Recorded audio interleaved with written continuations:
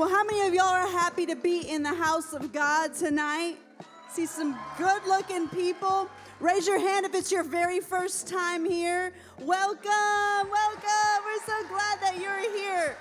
All right, I'm going to allow you to take your your seats. Well, don't sit down just yet. Walk back towards your seats, but stay standing because y'all know tonight is a special night. How many of y'all know that? Yes. As you are standing, I just want to just stop and acknowledge you for being here. Thank you so much for being here. We have I don't even want to say special guest, but yes, the most special guest that we've ever had at LYA with us in the building, a legend, a hero in our eyes. He didn't even ask this, but I'm going to do it. Um, our pastor just dropped a new book this week, y'all.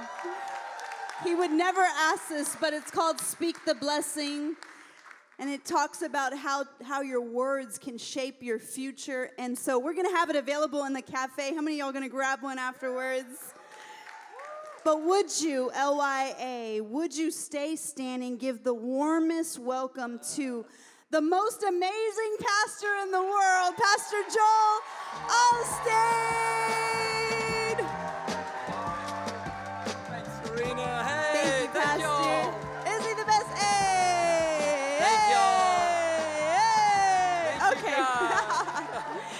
It's to be here. Thanks so Thank much, you. y'all. Thank you, y'all. Pastor. We're, we're a little bit of a rowdy bunch here. We're a rowdy bunch. I like it. I like I like when y'all do it. I like when y'all do it in the services in the, at the 11 o'clock too. I always like it. See, so he does like when we I shout, do like y'all. so many people have asked me, they've said, hey, is it okay that we're yelling this loud when Pastor announces this? I was like, I think he likes it. I Oh, think I he like likes it. it. But Pastor, it's it's such an honor to have you here. so Thank you. thank you for being here. And uh, how many of y'all love our pastor so much? We do. We have the very best. And it means the world to us. And I, I just want you to hear that we have pastors that believe in us, that believe in the next generation. So the fact that you'd come on a Thursday night just means the world to us. And we just love you and we honor you. Thanks for having me, Serena. How about, how about Serena? Y'all love Serena and George and man, the the the worship was amazing tonight. The It worship team and the band They're and all you guys and we have the best. Again, thank you again for being here, Pastor. We had an incredible weekend this past weekend, over a thousand baptisms. Just such an awesome weekend.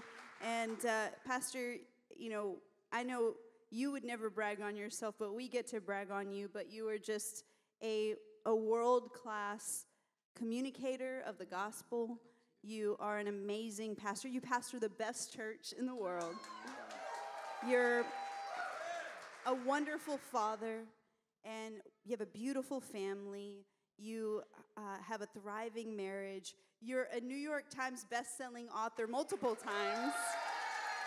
And I think the list could just go on and on and on. So I wanted to just start off with asking you this. Did you ever imagine that you would be where you are right now? You know, I didn't, Serena. You know, I didn't. I, I just, y'all know my story, I guess. I grew up here at Lakewood and, of course, the other location, but I never knew this was in me, you know, and, and that's why it's so easy for me to encourage people that, you know, you don't know where God can take you. Because I, w- I would be the least likely one to be up here. I, w- I was, you know, behind the scenes doing the television production.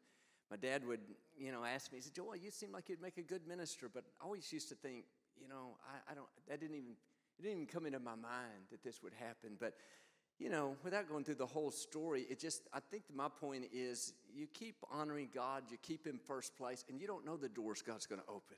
You don't know the gifts He's going to bring out of you. You know, again, did, I never thought I could be up here you talking writing a book. I didn't barely passed high school, but you know what? You, you just, you, but I do, and I'm not, I'm not bragging on me, but you, you do your, and I'm saying you don't make mistakes, but you do your best to keep God first place. You keep honoring Him. I mean, I grew up in the house of the Lord. I grew up with parents I, I saw modeled, you know, integrity and, you know, holiness and loving people and being good to people. And I saw that model growing up. And so, you know, I, I recognize I am reaping a lot of the seeds that my parents have sown. But, you know, and, and we, we may get into this, but you, you may not have seen that growing up, but you can be the one to start it.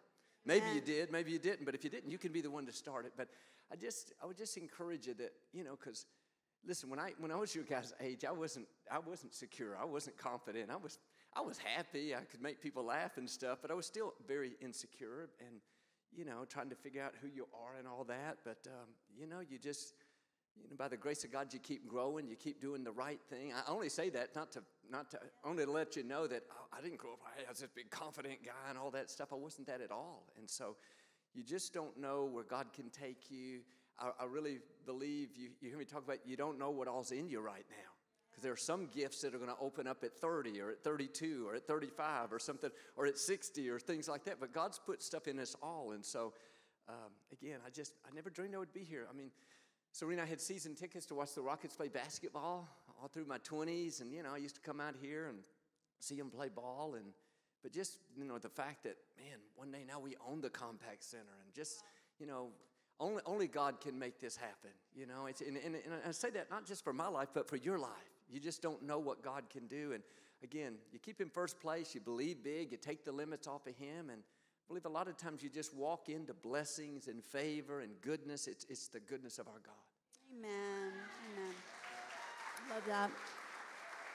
I think this question ties into and speaks into where a lot of people are, even young adults, and where, where we're at that stage of life where you're discovering what your gifting is and wanting to walk in that and be who God has called you to be, but then also knowing which path to take. Could you share a little bit about your experience of, you know, I know some of us know the story, but not everyone knows all the, you know, details of the story, which we love, but how you became the pastor of Lakewood Church and then how you knew that it was the right time to step into it. Maybe you can even talk about some of the challenges as Yeah. that you had to face, uh, you know, having a baby at the time and Yeah. what that looked like, navigating marriage and life and decisions. Yeah, it was amazing, Serena. God knows how to give you the right. He knows how to give you the right signs of what you're supposed to do. I, I believe God won't. If you know, if you have a heart after God, He's not going to let you miss your destiny. He's not going to let you miss your purpose. So, so 17 years I was behind the scenes doing the production and all that. And as I mentioned earlier, my dad tried many times to get me up to minister, but I had no desire to minister. You know, it just wasn't in me. I was, you know, a little intimidated too because my dad was a great pastor. And I think I just tell them, Dad, they don't want to hear me. They got you up there. And, you know, I just, I di- didn't have any of that in me. But let's fast forward to my dad was 77 years old and um, I was 36 at the time. My dad had had high blood pressure most of his life and it kind of ruined his kidneys. He had to go on dialysis. But anyway, he was on dialysis for like a couple of months and he was still speaking every Sunday, but I don't know. It's, it's, you know, things were beginning to change a little bit. Anyway, I was at my house one Monday night having dinner, and my dad was at my sister Lisa's house, and my mom was there too. And he said to my mom and Lisa, he said, I'm going to call Joel and see if he'll speak for me this Sunday. Well, I had told my no, dad no for 36 years, and my mom said, John, you're wasting your time. Joel's not a preacher. And he said, I'm going to call anyway. So my dad called me. I, I was eating my dinner at home. I remember it like yesterday. Me and Victoria were eating, and he said, uh, I answered the phone. Hey, uh, Joel, why don't you give me a break this Sunday and preach for me? And my dad was always, um, he never pressured me. He, he loved me so much, he thought I could do it, but I didn't even have to think twice. I said, Daddy, I, I appreciate it. I'm honored that you would think, think of me that highly, but you know, I'm just not a preacher. And he said, oh, okay, I just at least I wanted to ask. And, and so we hung up the phone. And so I, I sat back down to finish eating my dinner, and I felt it so strongly down in here. I don't know how to explain it. I just knew that I knew that I knew that I was supposed to do it. I know now it was the Holy Spirit. I didn't, I didn't know that time. I just thought, got to do this. I told Victoria, I said, I, I want to tell my dad I'm going to do it. So I picked up the phone and told my dad, I said, I'll speak for you this Sunday. And Lisa and my mom nearly passed out because, you know, after 36 years, I, that was a Monday. And I got to tell y'all, that was the most miserable week of my life. I, I so dreaded. I don't know if y'all ever had to get up and speak if, if you don't like it, but I just so dreaded to having to get up there. And I thought, man, even Victoria, I said, Victoria, please don't talk to me until Sunday afternoon at one o'clock. I said, I'm going to get through this week. And I, I dreaded it. And I sure didn't enjoy every day. But anyway, on that Friday, my dad had some complications from the dialysis and he had to go into the hospital. Still doing fine, but he had to go in, so he couldn't be at the service. So we hooked him up that that Sunday by telephone. It's 1999, so we didn't have the internet like today. So we got to, I, I hooked him up by the phone because I was going to get up there and preach my first sermon. I wanted him to hear it. And so I got up that Sunday and that's a funny video, y'all, because I had long hair and I, I, I talk with a twang now, but then I'd say like, "Welcome, how are you?" when I go back and listen to myself, I thought, man, I, I, I taught myself to speak English, but anyway, again, better English. But so I got up and I, I was so nervous, y'all. I had to hold on to the podium. I, my, my first thought was, what is everybody doing staring at me? Because I had never seen it from that perspective, but I don't know. I did my best. You know, God gives you grace, and I told some funny stories about the family, and I did that all. So anyway, I got finished with the service. I told Victoria, let's, I said, let's go to the hospital and see my dad and see what he thought. Well, the nurses stopped me in the hall, and they said, Joel, we've never seen your dad so proud. He was just beaming from ear to ear. Well, okay, y'all. I still cry.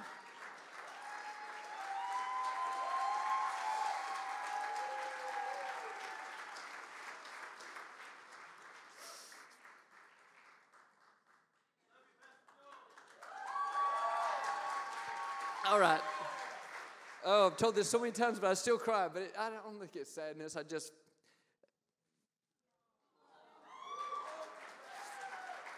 Okay. But little did I know. All right, I'm really happy, y'all. But anyway, little did I know that would be the last Sunday of my dad's life. That next Friday, he had a heart attack and went to be with the Lord. And, you know, it's crazy, Serena, because like I said, God gives you those signs. I thought, you know, after my dad died on a Friday night, my mom called me at 2.09 in the morning. I still remember the caller ID, and I went up there, and my dad was, you know, in his house, but I, I knew he was gone. The paramedics were there. But anyway, it's funny because I felt a grace about it. I was in a fog for like 24 hours. I thought, man, my dad died. I, did, I thought he'd live to be 100. My dad and I were the best friends. But it's funny, after that day or so, I felt that same desire to step up and pastor the church. And it didn't make sense to my mind. I just knew that I knew that I knew I was supposed to do it. And going back to those signs, I, I think I said it already, but you know, I went back to thought, you know, what are the chances that I would, in my 36 years, that I would speak the last Sunday of my father's life? And so, you know, that was just like, okay, God, I know you're in control. And everything in my mind says, yo, you can't do it. You're too shy. Your dad was powerful. Your dad went to seminary. Your dad preached for 40 years. But you know what? I, I, I y'all hear me t- tell it all the time. You have to tune out that and you have to go back to who God says you are. And I, I said, God, I, I believe. I mean, here's the thing, Serena, I, I, I thought this. We never dreamed the church would grow. We thought if we could just maintain what my parents had built, we would be doing really good. But I mean, look at the goodness of God. I mean, who would have ever thought that was that was 25 years ago? But who would have ever thought this would have happened? So, I don't know. I don't. I don't say that to you know brag on me, but just to you know, God will give you signs. He'll give you the grace to do what you've called to do. And I couldn't have made any of this happen. It was just, um, I knew I was supposed to step up. And so, so Serena, I may be answering all your questions here, but I didn't know, you know, it was, it was every, every Sunday. I'd get through with one Sunday and I'd get, I'd drive home and I think, you know, that thought would say, what are you going to preach next week? You know, you're not going to have anything to say. And you just, you, I had to, I had to do what I tell you guys and you just have to keep talking to yourself the right way. I just all through the day, I'm strong in the Lord. I'm well able to do what you called me to do. Father, I thank you that you've raised me up and you being for me is more than the world being against me. Because on Saturday night, I would be talking myself out of it. I thought, oh no, I'm going to get there. I'm not going to know what to say, and this is not going to be good, and I'm going to bore people. But you got to tune all that out and just got to, you know, here, here's my thought too. Another thought too is I thought, you know what? I'm going to do, I'm going to take this step of faith because I, I don't want to go to my grave not knowing what would have happened if I would have stepped out. And, and I, I believe that we all, we all face these destiny moments where, you know, I was either going to step up and pastor the church or Serena, somebody else was. And, and here's my thing. I thought, you know what? If I get up there and, and try and I'm not any good or nobody listens, or and that's fine too, because that's not going to be the first thing I failed at. But I thought I'm not going to, I do want to take that risk, never dreaming that it would grow. And, and I realized as I you know, as I stepped into it, one, you, you guys, I guess y'all weren't here, but the people of Lakewood were so loyal. They loved my parents so much, they wanted me to succeed. I would get up there to, to, to, to minister back then the first couple of months, and people would cheer for like a minute. And I thought I hadn't done anything, you know, and just, uh, they, they just wanted me to win. But you know what? God puts the right people in your life that'll want you to win, that'll cheer you on. And so, you know, it's just, it's just the, it's the grace of God. Again, never dreaming it would grow, but people started to come out. And again, I, I go back to, a lot of a lot of it too, Serena, it's the sovereignty of God. You know, it was I the greatest preacher, was all this. It's not that. It's just the sovereignty of God. It's it's parents that have paid the way. It's it's God's dream for your life being bigger than your own. That's why I just encourage you. You're gonna you're gonna see these. You're gonna step into some things. You're gonna think, how did that happen? You know, how did I get here? How did that door open? How did that company choose me? It's, it's the hand of God. And, and I, I know I've seen it and you've seen it in the past, but you're going to see bigger things in the days to come as well. Amen. So good. How many else taking notes? We're so glad that you did answer that call, Pastor. We're better for it. Well, this month we are in a series where we're talking about the power of prayer. And um, we'll be talking about it all month long. And, and I just wanted to ask you is there any sort of disciplines that you have in your life, spiritual disciplines that you have in your life that you would say, you know what, that's, this has helped sustain me all along? Yeah, it is. I, my, my parents taught us from a you know, from the time from earliest I can remember, is to take time every morning to start the day off in faith. And so I, I do it more now. I know I'm a pastor, but I just encourage you because I did it when I wasn't. But I just think it's important to take some time at the start of the day to put God first place. And I, I, I do it. I, you know, I read, read my Bible. I used to, you know, my, anyway, I read my Bible. I take time to pray. A lot of my prayer time now is just thanking God for what He's done. You know, I don't, I don't spend time begging God. I just, Lord, I thank you that I'm strong. I thank you that Lake, that our family's healthy. Lord, I thank you that your future for me is good. And so I just take that time you know, and you know, some, some people ask me how long. You know, it, it, it depends, but I, I just think it's important to take time every day. I like this thought: don't meet with anybody else until you first meet with God. You know, you're just saying, God, I'm going to put you first place. And you know what? Some mornings we're traveling super early, and I may get up and take three minutes and just start the day off and say, God, I, I commit this day into your hands, and I honor you, God. And just, you know, it's the position of your heart. I don't think it has to get routine and because I, I am routine. Victoria tell you, I can quote my same prayer for an hour the same way. But you know what? I, I make myself change up. God knows your heart. But I think that's, that's one thing, Serena, is, is just starting the day off in faith. I think another thing, and you, you guys know all this, but it's important the friends you choose to hang around. Because I don't think you'll, you'll, you know, friends, friends are so important. And so I just think, you know, choose some good friends. Choose some eagles. I mean, you got great friends here in this place. Choose, choose some choose some, some eagles. And, and I know, you know, I know that this can be hard because, you know, there's, I don't know. I, I know this, that sometimes, you know, the, the number one thing I see holding people back are the friends are hanging around. If they could get in a different friend group. And, and here's the thing, you know, well, Joel, I've had these friends for a long time. Well, maybe they're not going where you're going. Maybe God's taking you higher. And I don't, I'm not a, I don't mean, you know, go shun them and never talk to them and all that. But, you know, you can just spend maybe less and less time. But I just think it's important to, even now in my life, I, I try to find some people that are far along more than me, somebody that inspires, inspires me. I, I think you need people out there that are further along. But I don't know. I would think, I think that's important. And just, um, I don't know. I could, I could probably ramble a long time, but I think that's the main thing. So good, so good. So I want to talk about this, especially the day and age that we live in, Pastor.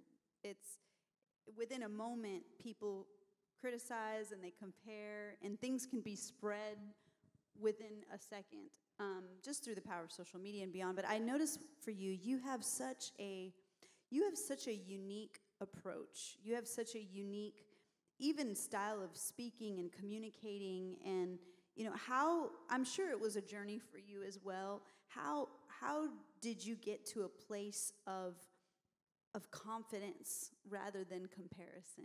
What was that journey like? yeah, like that's a good one serena. That was um, that wasn't easy for me um, I'll, I'll, answer this in a roundabout way because my personality is for, to want people to like me. And it's funny when i got up there you know the first you know six months everybody loved me the first year everybody loved me. But then as you as god begins to take you higher, you, you get critics and you get people that don't. And that I had to come to the point of everybody is not supposed to like you. You're not going to win to reach your destiny. I mean, we wouldn't have salvation if Judas had not betrayed Jesus. And I had to, I had to come to the point where it's okay if somebody doesn't like me. The main thing is if, if we can, you know, to me, if we can get up every morning and stand before God, if, if my heart is pure toward God, I don't really, I don't mean this in the wrong sense, but I don't really care what other people think. I got you, we, we have to run our race because what, what I got into, what I got into is, Serena, I got hit from both sides. People want you to be more of this or, or less of that. And it's just finally, I thought, you know what? I told my team, I said, if I'm going to be criticized, I want to be criticized for who I am, for what I believe, and not because somebody squeezed me into a box. And so I think, I think now, Um, you know, now it's, it's important to me. I, am real, I'm real focused on the fact that I don't read anything negative about me. I don't really, I don't have time for that. Life is too good and God's been too good to me. I don't even, I don't, I don't, I think it's so important, you know, don't let that get down into your spirit. Because, you know, you're never going to win everybody over.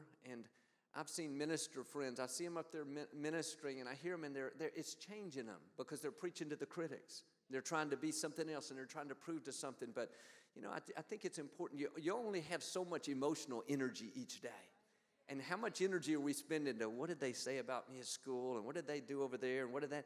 That's energy that you don't have for your dreams and for your goals and to be creative and to reach your destiny. And so, I, and you know, you, y'all know it more than me because I didn't grow up in your day with social media. But it's, you know, it's, it's, it's crazy these days because, you know, people will build you up to tear you down and all that stuff. But you know what?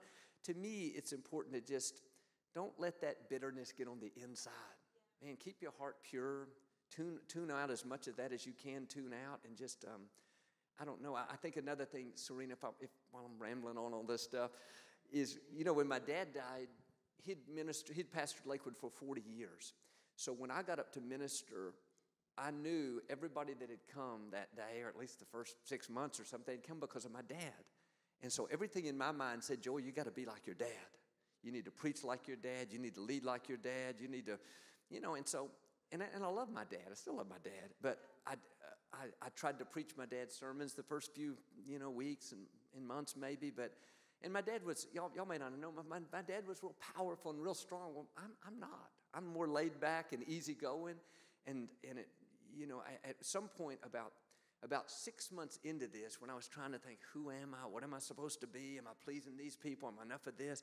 About six months in, I was reading the, the Bible, is in Acts, and it said about David, it said, David fulfilled his purpose for his generation.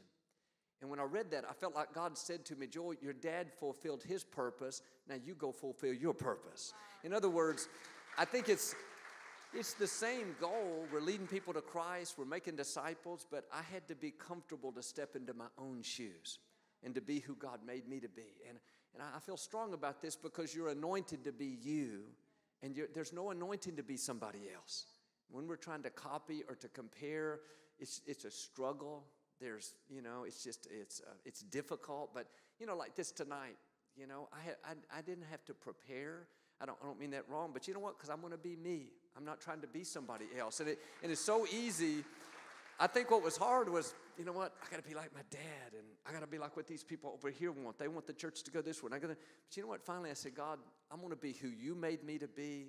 I'm going to, you know, my dad used to have a long opening scripture text a lot of times, and I thought, you know what? I'm good at taking a little part of a scripture and just talking about life and forgiveness and how to reach your dream. I said, I'm going to do that. And you know what? That's when the church began to grow, when I stepped into who, who God made me to be. And so, again, I think it's, it's important because now you know, I, I still get it too. I'm sure you do, you guys do too. There's just pressure to become this and that. And I just think it's important to just search your heart. What does God put on the inside? That doesn't mean don't take, don't take advice, don't take good counsel, but you know, you know who God's created you to be. And can I tell you, nobody can beat you at being you? I mean, because you're anointed to be you. And, and really, that's where the grace is to, to step into to what God's called you to do. Amen. Amen. Pastor, you shared this actually a little bit in the beginning. That you had talked about you you come from a great lineage of faith and a family of faith, and I know in a room this size, and even as we read scriptures, we see God uses people from all walks of life, and it's such a beautiful thing. But I would ask you, you know, to speak to someone in the room even tonight that that you might say, you know, maybe they don't have that lineage of faith. What, what are some ways that we can live a faith right now here? And and how do we how do we set up our future generations well yeah that's a great question and and you know it, it's real true let me go back to my dad y'all so my dad was uh, the first one in his family to give his life to christ as far as we know my dad was 17 years old he knew nothing about god i mean my, my grandparents I don't I didn't really know them that well on my dad's side, but they were good people. They were loving people. They just they knew nothing about God. And and so my dad was had a, had a friend in high school named Sam Martin. And Sam was very outgoing about his faith. And he bugged my dad, and he bugged my dad. And, you know, my dad was embarrassed by him because Sam would get to school early and write scriptures on the chalkboard. And, you know, my dad be embarrassed. Sam, come on, cool it a little bit. But, you know, it, it you know, again, God puts people in your life as a, as a divine connection. And so one day my dad was leaving a nightclub at 2 o'clock in the morning, Fort Worth, Texas, and he looked up at the stars and he began to think about God. And, it, and it's, it's, it's the mercy of God. I mean, I, I think about that scripture. It talks about how, how God chose us before we could choose him. I mean, I, I wouldn't have this lineage of faith if it wasn't for Sam Martin and if it wasn't for God's mercy drawing my father. And so my father, they, they grew up very poor and, and he told me, obviously, you know, he told me obviously later because they got the they got the Christmas basket. They were so poor, but at 17 years old, he gave his life to Christ, and and that at that same time, he felt called to preach. And his parents were like, John, we're farmers. We know nothing about God. You're going to get out there and fail. But he knew that's what God had called him to do. And, and he told me, he said, Joel, I made a decision that day that my family was not going to be raised in the defeat and the poverty that I was raised in. 17 years old. So, really, I don't know. God put that in him, but daddy took that step of faith and said, I'm, I'm going to break this generational limitation.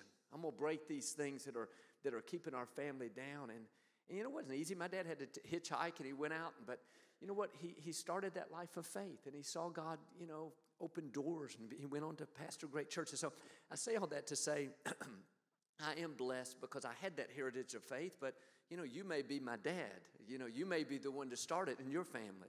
Daddy started it at 17 years old. And I look back now as you get older and you think, golly, at 17, he went out and started hitchhiking and preaching. And, you know, he wasn't, you know, not raised in faith. I could barely do it. And I had 36 years of training. But you know what? It's the grace of God. But I, I think the thing is, it's just what you guys are doing now. You're in church on a Thursday night. You're, you're setting a new standard for your family. And just, just know that God has raised you up as a difference maker.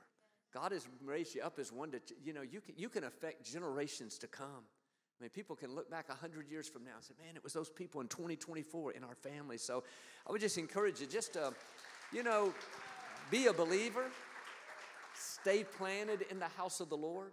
You know, we need you here at Lakewood. Not, not just we need you, but it's, it's good ground and it's how you grow and God honors you when you, when you put Him first place. So you know, again, I'm, y'all are raised in a different generation. There's, there's so much distraction these days, but I know this God has given you the grace to be in this day. And I just encourage you to, you know, sometimes you got to go against the trend and, you know, everybody's out doing this, that, and the other, but you know what? You got to say, I'm not everybody. You know, be a Daniel, be one that stands out. And you know what? God will honor you for that, and it'll, and you're, you'll, you'll rise higher and you'll, you'll make it easier on generations to come. Beautiful. Okay, Pastor, this is a fun one. If you could talk to your 20 year old self, what would you want to say to Joel? If I could talk to my 20 year old self, I'd say, hello, good looking thing. But uh, what would I say, Serena? Seriously, why do I say that? Victoria says, why do you say that? I don't know why I say it. I, just, I would say this I would say, trust more and worry less. You know, because it's, you know, you worry, who am I going to meet? Who am I going to marry? And then, you know, it, just, it continues on. And even when I became pastors, oh my gosh, you know, is the church going to grow? Or are we going to make it? And people come against you in the Compaq Center, are we going to get this? But, and I'm not saying I was a lot of, I wasn't a big worrier, but I realize now, you know what? God has you in the palm of his hand. God is ordering your steps. God is going to open right doors and He's going to close wrong doors. God is not going to let you miss your destiny. When you have a heart after Him, He's going to give you mercy for mistakes as well. And so I think there were plenty of times I may not have enjoyed the day as much as I could have because I was waiting for the next thing or just wondering what was going to happen. But I would just, uh, now I've learned, and I'm not perfect, but I've just learned I live from a place of peace. I live from a place of trust. Say, God, it's in your hands. And not, not meaning that we don't have to do our part, but I just think you can save yourself a lot of time if you'll live from a place of rest and trust and belief. Again, doing your part, working hard, being excellent and all that, but you don't have to, you, you know, I, I, think maybe a better way to put it is, you know, don't try to control things you can't control. I, I've learned this. You can plant, you can water, you can fertilize, but only God can bring the sunshine. Only God can open the right door. So you do your part, and, you know, the, the more you live from a place of peace and trust and not worry, the more you're going to enjoy your life, and it's really showing God you trust Him. And y'all hear me say this all the time, but it's, it's what I live by. It's, it takes the same amount of energy to worry as it does to believe. In other words, oh man, what am I going to do? And wow, how's this going to work out? Or, you know, it takes the same to turn that around and say, Lord, I thank you that you're in control of my life. Lord, I thank you that you're fighting my battles. Lord, thank you that you have divine connections. Lord, I thank you that you'll open right doors. So you're just using that same energy to thank Him that He's working in your life.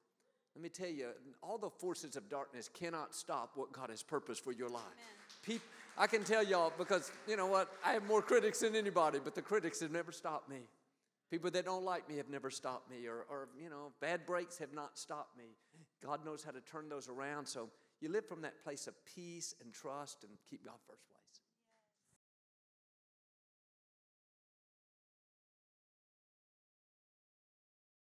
But, Pastor, I just would like to ask you, you know, what do you have on your heart for just the young adults of Lakewood Church and beyond? What do you what would you want to speak to the young adults of our house? Hmm, I would just want to speak. I think I've said it that you know what we need you guys. You are people of destiny. You are here for a reason and I really believe God has awesome things in store for each one of you as you just continue to honor him and keep him first place, stay planted in the house of the Lord. I think the other thing that I was good at too, Serena, not, not, not, not trying to brag, but you gotta, you have to also take the limits off of God. It's a lot of thoughts, you know, they, they came to me, they probably come to you, Joel, you're not smart enough, talented enough, strong enough, all this stuff, but you got to turn all that, tune all that out and say, God, I, I know you've made me who I am and I can do all things through Christ and just, you know, have a big vision. You know, I, I think many times we are limited my dad used to always say, You'll never rise any higher than the way you see yourself. And so I had to start seeing myself differently and even just believing for things. You know, uh, when, when the Compaq Center came along, you know, God will put the faith in you, the belief in you, but you have to tap into it. And I knew it was supposed to be our Serena. I look back now at, you know, 39 years old. What made me think I could get the, the finest building in all of, all of Houston? But you know what? Something will rise up in you when something's supposed to be yours, and you'll have a God given faith, but you have to tap into it. Everybody told us how we couldn't get it. I mean, my main lawyers, the main people we work with, oh, we're not, they're not going to give it to you. It's not going to let church. I thought, see you. I don't want you on my team. I'll get somebody else. But you know what? You got to go back to say, God, you put this dream in my heart. I'm not going to be talked out of it. I'm going to believe you for big things. And I think, you know, you take when you take the limits off of God, it allows Him to, to bring you Compaq Centers and to bring you influence and destiny in new ways. So just again, keep it in first place. Be a big believer, you know, not not just limited by my circumstances, my education, my you know, I had all that stuff that could have disqualified me, but you know what? People don't call you, God calls you.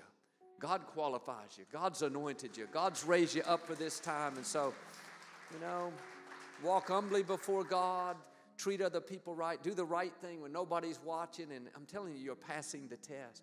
One last thing I know, I hear the music, I'm so start, but here, here. Well, you know, here's the thing too. All those years behind the scenes, 17 years, I would, I would listen to, uh, to my dad's messages. Uh, when he would speak, I'd have to edit them. So daddy would speak like 40 minutes, Serena, we'd have to cut it down to like 25 minutes. And so every week for 17 years, every time I edited the program, I would hear his message about three or four or five times. I'd have to figure out his train of thought, what I need to cut out, and all that stuff. Well, I didn't realize back then that God was getting me trained for what I'm doing today. I didn't even know it. I mean, sometimes, well, I'm going to say sometimes, God is getting you prepared right now for greater things, and you may not even know it. And I, I think kind of Serena, it's God's kind of was going to say funny, but God's God's God. But you know, if He would have told me, Joel, I'm doing all this because in when you're 36 years old, you're going to pass to the church, I wouldn't have liked it. But you know what? God just discreetly got me prepared. I got all those stories in me, all that you know, all those scriptures, and then at the right moment, there was a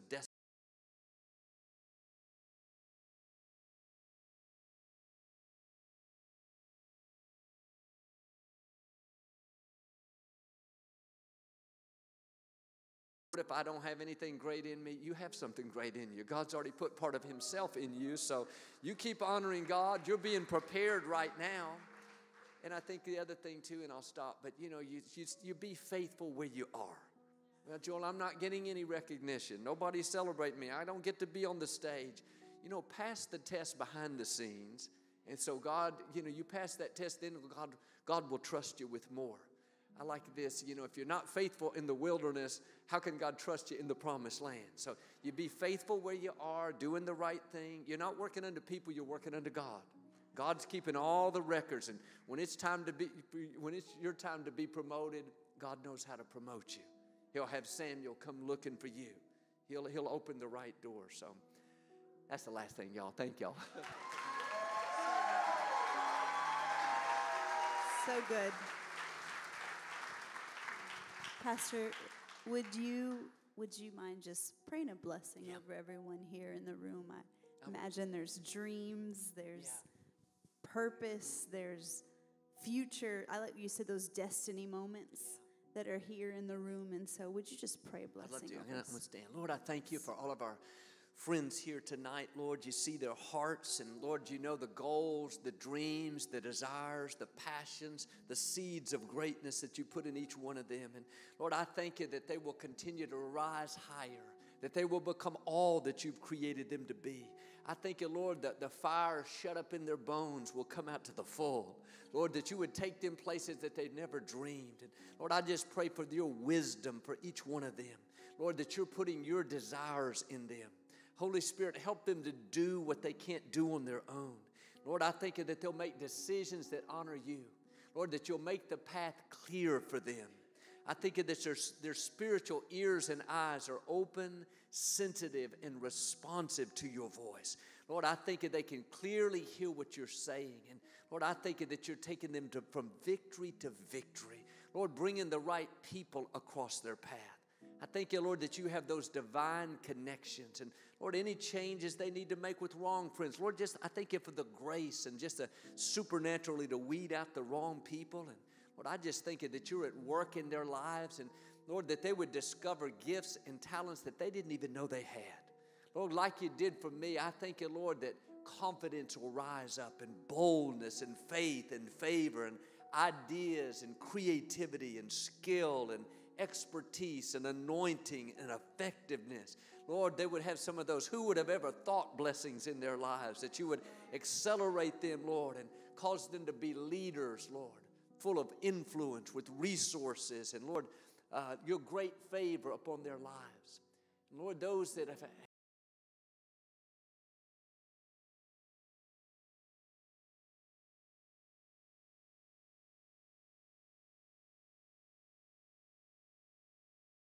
been broken. And Lord, that they are the difference makers. They are the, the Daniels. They are the ones that stand out in the crowd. And Lord, I just speak your blessing and favor and wisdom, healing over them, over their seed, over their over their family, over their parents as well. Lord, we speak your victory. And I believe and declare you're blessed, you're prosperous, redeemed, forgiven, talented, disciplined, focused, confident, secure, prepared, qualified, motivated, valuable, free, determined, equipped, empowered, anointed, accepted, and approved.